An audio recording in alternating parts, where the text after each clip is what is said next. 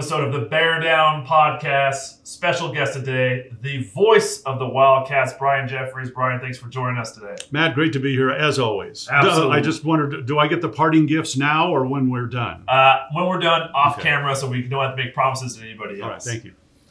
So, Brian, I want to start like we always do with these. Go back, start at the beginning. You, long before coming to Arizona and Tucson, you grew up in Washington State. Correct. Tell us a little bit about your childhood in the Pacific Northwest. Well, I grew up in Tacoma, Washington, which uh, nowadays is a suburb of Seattle. At one time, it was uh, its city uh, of its own.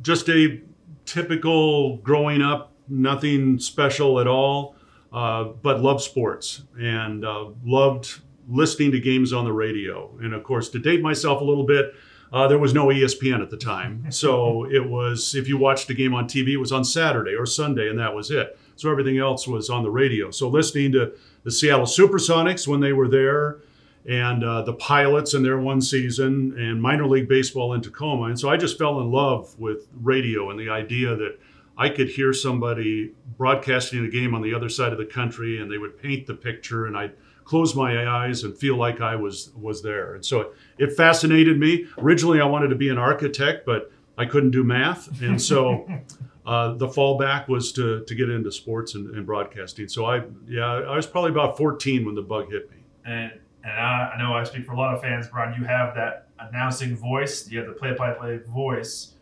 When did that sort of come to a fruition as of something of you know what I can actually use my voice to to do what I want to do?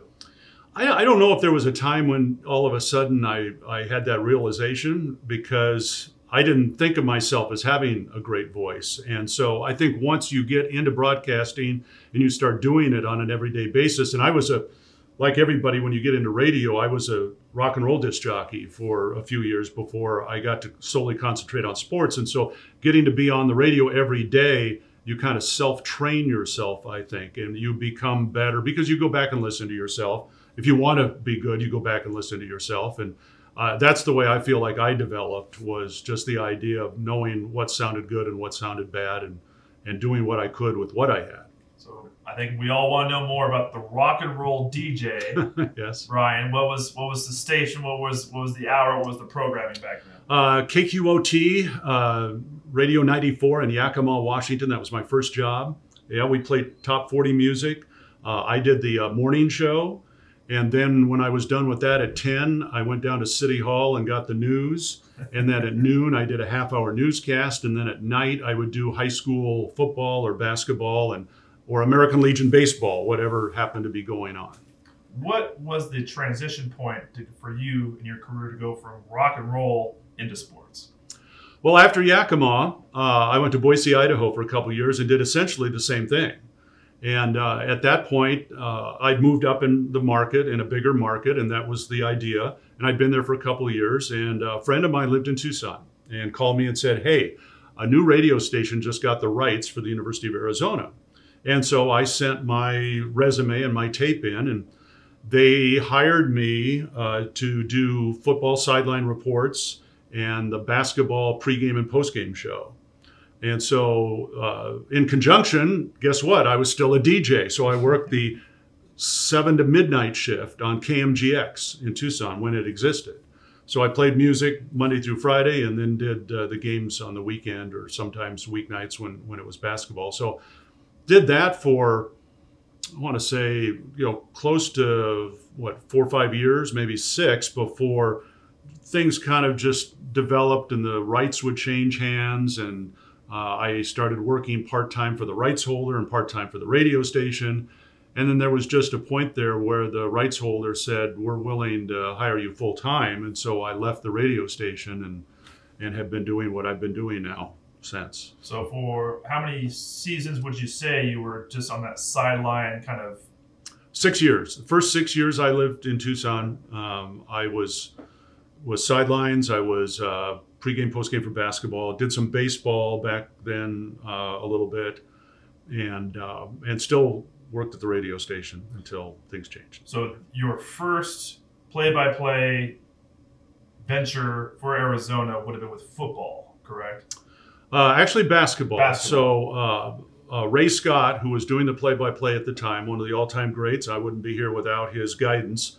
Uh, he didn't like to travel a lot, and so uh, both the NCAA tournament game in Albuquerque and the following year in Long Beach, I got to do those because uh, Ray didn't want to travel, and that's also what kind of kicked off the football side of it because uh, Arizona qualified for the 1986 uh, Aloha Bowl and Ray did not want to go to Hawaii for the holidays. and I said, and so that was that. And then he retired the following spring, uh, and and I took over after that. So your first full season doing Arizona basketball play-by-play, 1987-88. Yes. Uh, got it in a good time. Yeah. Uh, yes. A Final Four run with Right. under Coach Olson your first year. What was that experience like? First year and out, deep run like that. Well, I mean, my head was spinning the entire season because for me, I'd done nothing but high school or small college sports before, so I always felt like I was behind. But uh, it was it was wild because, of course, it was one of the great seasons in Arizona history, and of course, we get to the Final Four, and uh, I bought no souvenirs in Kansas City. Didn't buy any because, again, I was going 100 miles an hour trying to figure out where to go and, and what to do. But I thought, well, that's okay because I'll just get souvenirs next year when we're back. Again, being naive enough to think that, oh, we'll just we'll come back and do this again. Then coming to the realization that well, you don't get there every year. We've been there plenty of times, but not every year. Right here. So when did you start then your first season of football play-by-play duties? Uh, same fall, fall of Fall '87. of 87. And then baseball came a little bit later. Well, I'd done some baseball with uh, with the, the late and great Dave Sitton. We had done it together for a few years, and then it was actually probably late '80s, early '90s when he moved on to do television full time, and and I did you know solely radio after that. So your your tenure, um, uh, which is I think interesting in that I don't think a lot of play-by-play people do what you do, which is football, basketball, and baseball all on a yearly basis. For you, what is the differences between calling those three very different type of games? Well, actually, it kind of changes starting in the fall because football is extremely intense because of all the work that goes into it, all the players that you have to keep track of in a football game. Whereas then basketball, you've got fewer players, you've got more games, but the games are also shorter, the action's a little bit faster.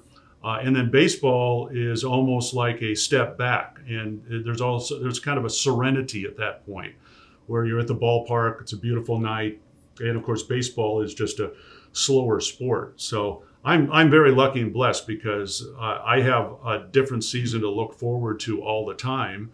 And then after baseball, I get the season of doing nothing for a couple months, which is which is good. So under under some Hall of Fame coaches that you've worked with uh, for all three of those sports, Lute Olson, Dick Tomey, Andy Lopez, all legends in their own right, iconic coaches in their sport. If you could just give us just a favorite memory or, or story from each of those three folks in your in your regular encounters with them. Well, I mean, there's a million stories involving Lute Olson and all the great things he did. I mean, on the court and what he did off the court. Um, and I mean, you know, because I was fortunate enough to be able to to know him in a different sense, I think, because we had we worked together, and that's what I always appreciated about all the coaches is that I have a job to do. They understand that, and they're they're always great about it. But you know, Lute was such a humble man and just a I, I just an easygoing guy. I mean, I know he could get excited at games, but away from that, you know, he was a husband and a father and a, a grandfather and so on. So, I guess one of my my, my favorite, well, I don't know my favorite, but one of them, one story is that uh, before every game, we did a pregame interview. We did it well in advance of the game. And on road, home games was easy. We did it at practice day of the game. Road games, it, it varied because of what time the game was. And so I remember we were playing a game, and I think it was in Los Angeles. Uh, it was an afternoon game, and so that morning I called his room and I said, "Coach, hey, you know, when can we do the pregame interview?" He says, well, "Why don't you come up to the room?" Which wasn't unusual. I mean, I'd done that before. So I go up to his room, knock on the door, and he opens the door, and he's standing there in a t-shirt and basketball shorts, and he says, "Come on in." He says, "Give me a minute. I got to finish ironing my shirt." well, anybody that's a Wildcat fan knows that Lute Olson was an impeccably dressed man. never a, I mean, never a wrinkle anywhere.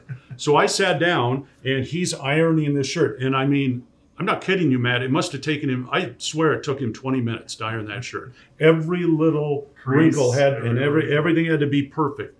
And so when he got done, we did the interview. And, and that's just kind of the way he was. Um, you know, Dick told me the best thing that Coach Tomey taught me was football because I never played football growing up.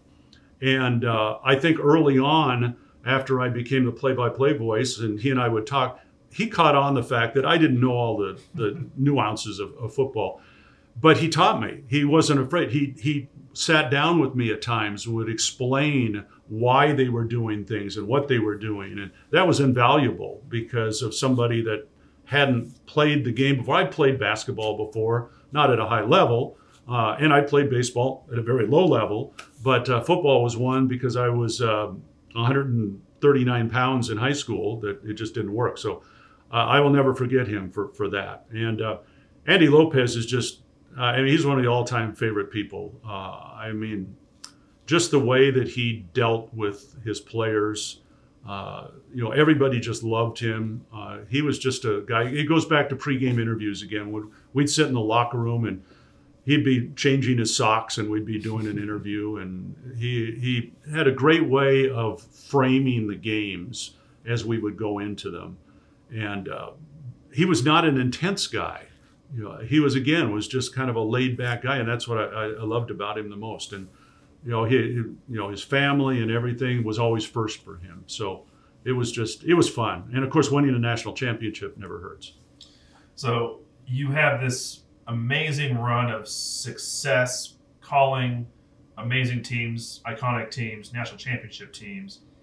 I, I, I'm sure if I asked you for a favorite moment from each of those three seasons, a national championship '97 with men's basketball, 2012 Andy Lopez run, probably probably those top. But non national championship moments that you look back to still to this day and still put a smile on your face. Well, in basketball, it was, uh, that would have been 1988 Kingdome in Seattle, Arizona and North Carolina in the regional championship game because Arizona had never been to a Final Four.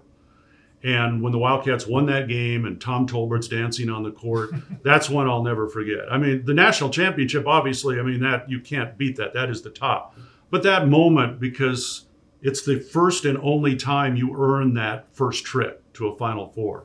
I, that to me, that was, I still get chills when I think about that. Um, football, a uh, couple of games. Uh, people think I'm crazy, but Arizona beat Oklahoma six to three at Arizona Stadium in the late '80s. There, mid to late '80s, and that to me was just a tremendous game. I mean, you know, beating Washington where they were number one and, and that sort of thing, beating Miami at the Fiesta Bowl, beating Nebraska uh, at the Holiday Bowl. I mean, those are all great memories. Uh, but that Oklahoma game, because it was just a regular, quote unquote, a regular season game, that one always stands out to me. And baseball, um, gosh, I'm, I'm trying to think of how many different ones that uh, I've seen that have stood out. You know, other than Omaha, I'll just go back to last year winning the Pac 12 championship because that's one thing that Arizona hadn't done. They'd been to the World Series, they'd been to the playoffs, but winning that outright Pac 12 championship, and it was we were in Corvallis, Oregon, and had just beaten the Beavers to take the series. And then the game down in Eugene was going to help determine. And so here all the players gathered out in the outfield watching on somebody's phone and that game ending and seeing the joy that they had knowing that they had a championship. So when you have these uh, highlight calls, whether it's a moment, whether it's uh, the wrapping up at the end of a national championship one, is that something for you that's spontaneous, or do you sort of have a framework of, hey, if this works out, this is this is how I want to remember this moment? I've tried, if we get to a championship moment, I have tried to formulate something to think, okay, I need to be prepared if this is going to happen. I would necessarily, I don't write it out verbatim, but I want to have something in mind because it's a it's a special moment. You don't want to pass it up. Uh, other games, no, I never think about the end if it's a last second shot or a game winning home run or you know a field goal or whatever that might win the game yeah you have to just that happens that's just happens naturally but i try to be prepared in those moments when a championship is on hand. Now you've got the highlights, uh, and then you've got the stories from your journeys on the road that aren't highlights. Some very interesting stories. Most recently, obviously, the fog out you had at Washington State with football. But Washington State was the site of another one of your more unbelievable stories. Know, Men's basketball, 1980s, and a venue change is, is the setup I have for you on that one. we uh, we were on the bus. We got to Beasley Coliseum where the Cougars play. Got off the bus. We noticed. I noticed at least. I thought, you know, the lights don't look like they're all on. And we walk in the door to Beasley, and the lights are not on. I mean, it's not dark, but you can barely see the court. No one's there. And so, you know, Coach Olson is looking around, and finally, a guy comes out and says, "Hey, the power's out. There's no power in the building at all." And we stood there for a while while discussions were going on as to what to do. And of course, we're there, what, an hour and a half before tip. And the decision then came that they couldn't get the power back on. So we were going to play the game at Bohler Gym, which is Washington State's version of Bear Down Gym. It's their old one, and it's across campus a ways. Well, this is in January, so there's some snow, it's cold. The bus, by the way, had left. So we all walked across campus through some snow uh, to uh, Bohler Gym. Now, it was not ready for a basketball game, and so they were scrambling. Fortunately, it was all there. The court was there and everything, and so they had it all set up, uh, and they were scrambling to do that. But there was no facilities for radio, and so at that time, all we needed was a standard telephone line to do our broadcast, and the Washington State people they had enough on their hands. They, you know, they were trying to get a game going. They weren't going to be able to help me. So I actually there was a hallway that I went down and found a, a door ajar, opened it. It was, uh, as I found out, it was an assistant football coach's office. and sure enough, there was a phone. And so I unplugged the phone. Uh, we had an extension, which we always carry a phone line, and ran the phone line out the door, down the hall, into the gym, and plugged it into our equipment. And that's how we got on the air. And uh, I think we went off the air a couple times and had to get back on because it probably wasn't a real steady phone line. But uh, and then on top of that, the place is packed. So because uh, it's standing room only, I think they just let everybody in. They were going to have tickets. And then Arizona just, I mean, blew out Washington State that night. I mean, it, it yeah, I th- it was like a 30 point margin, if my memory's correct, or something close to that. All over a phone line, All over. venue change, not even before shoot around, before the game itself, Right. arriving at the game. One of my favorites from you, Brian. And now, uh, in the in your job now as the voice of the Wildcats, I know everyone listens to your calls. You're known as the, the play-by-play broadcaster, but you have you have some other duties as assigned, as it were. Uh, you you host you know our coaching radio shows, coaching interviews, whether it's on radio or on video. Uh, you became kind of our default Zoom MC when we were doing everything over Zoom with fan calls and alumni calls and, and, and, and donor calls. Um, you know, what is maybe a favorite thing you do outside of just calling a game? Well, my favorite thing is coming to work every day because being in this building, McKale Center, and being around the student athletes, um, I always say it keeps you young. And uh, to me, that's just a joy to be around them on a regular basis and, and the coaches. And it, it is like a big family. And so that is my my biggest joy is just knowing where I get to go to work every day and what I get to do and the contact I have with them. And it's a busy job. I mean, for nine months out of the year, I'm I'm going strong, but uh, that's what keeps me going is uh, is the people, the support you get here. It's it's unbelievable. And one of those uh, marquee events you, you emceed, Brian, was the recent Lute Olson tribute in McKale, which I know was a special day for you. Um, just well, your favorite reflection or memory from that cool day on the floor of McKale there. Well, it was seeing all the former players back again. I, I don't know how many programs in the country can bring back that many that would come on their own, and uh, because of their love for coach. Uh, and just to look across the floor there at McKale and the countless number, and I'll go beyond players, you know, former assistant coaches, uh, former athletic directors, uh, former staff members, former managers. I mean, you name it. I mean, just leaders of the community. It uh, it tells you the impact he had, which I think is is very apparent. Uh, the I've always thought, you know, the greatest single person to live in this city since I've lived here because of what he did for the city. He won a lot of basketball games, but it went beyond that, and, and that was reflected in the people were there, and I think the emotions you saw, and you know, it had been a year uh, since his passing, and still to see those emotions was, was really special. Now, uh, most fans may not know this about you, Brian, but you are a kind of road trip connoisseur, I would say. you like to find the local spots uh, throughout the Pac 12 footprint for coffee, uh, for any type of beverage. Favorite spots in the Pac 12 footprint when you, when you go on the road? Oh, wow. Okay. Well, let's see. We'll start up north. Uh, 13 coins in Seattle, open 24 7, 365. Can't beat it.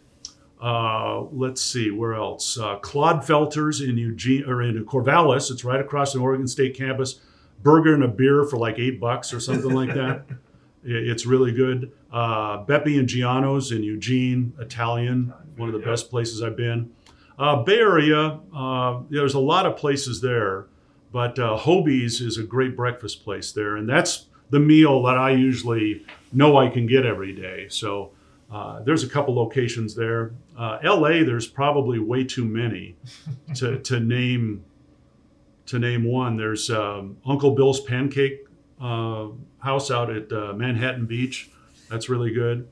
Uh, Salt Lake City uh, has one of those um, Brazilian steakhouses. And my partner on in football, Lamont Lovett, uh, diets for a month before we go to Salt Lake City because it's all you can eat, and uh, it's uh, that's a great place. Rodizio, I think, is the name of it. Uh, Boulder has um, has I think it's the Buff Breakfast. Um, something it's right next to the hotel we always stay at. So I'll, I'll throw a shout out too okay. for one of our spots in Spokane, Brew oh, Bros. Yes, Brew Bros. Coffee, coffee shop. Yeah one of the best. Love to find the uh, the local coffee shops, which you know is not easy sometimes. And you know we you know I don't have a car, so it needs to be within walking distance. yeah, absolutely. Uh, you've been in this community now, Brian, for for decades. Do you still get recognized by your voice or by your looks from fans on the street here in Tucson? Yes, uh, probably more so by the voice if I say anything, uh, because I got into radio because I kind of like the idea of being anonymous. Mm-hmm. Uh, but when you've been around for a while, that kind of disappears, and then the video work I've done and so on, and so yeah, it you know everybody's always real nice and so it, it happens, not a lot, but it happens. At the grocery store, at the bank, where's the, where's the last time someone heard heard you speaking and said, "Oh, it's Brian Jeffries"? Uh, it was actually uh, at uh, I was uh, I was over for the uh, Jedfish radio show at Union Public House. I hadn't even gotten into the building. I was walking through the courtyard, and um, I don't know who I was talking to, and some a woman about thirty feet away said came walking over and said, um, "Are you Brian Jeffries?" I thought I recognized that voice. so over your career, I'm going to hit you with some some hard hitters here, Brian, with some fast questions for you. Hardest name to pronounce?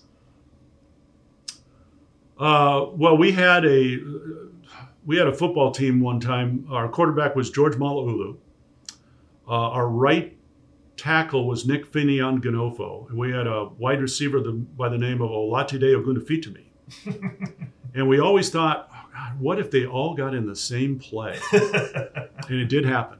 Wow. Yeah, it happened. So Malauulu threw the pass to, um, and, and Fineanganofo had to throw the block for yep. Olatide me.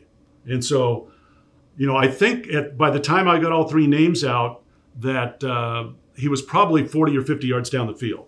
But uh, that's the one that uh, it took a, a, lot of practice.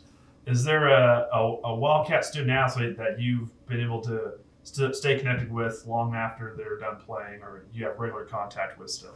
Well, Steve Kerr probably uh, because of who he is and because of what he does now. That uh, and we see him oftentimes when we're in the Bay Area since he's been with the Warriors, and so I would say he's probably the the one guy that I have I see the most. most of the time it's when they come back here and uh, you get a chance to run into them. But uh, but every once in a while, you never know where you might be, and somebody's going to show up. And um, I, you know, sometimes we all age, and so it's like okay, okay. And if they don't have a number on their back, you know, it takes me just a minute to remember. Have you ever been asked to record someone's voicemail message? Yes, numerous times. Numerous times. Numerous times. And what do you? What's the greeting you go with when you do? Whatever they ask for, they they write the script. I just I just do it. Uh, favorite broadcaster you, you admire today? Well, wow, there's many. Uh, I mean, I'll go back to Ray Scott, and uh, he was one of the all-time greats. Did the Green Bay Packers for years, uh, Super Bowl. I mean, you name it. And he was here for the two years, and I, I got to work with him for two years. And as I said earlier, without his guidance, I would have never gotten to where I am right now. He was unbelievable with his time knew everybody in the business. Uh, when we go on road trips, I mean, I met all kinds of people, but you know, there's just been uh, a lot of when I grew up in the in the Seattle area, listening to Bob Blackburn, who did the Sonics. Uh, Bob Robertson, who just passed away recently, was the voice of the Washington State Cougars for 40 some odd years, and I actually lived. I grew up three miles from him. Wow.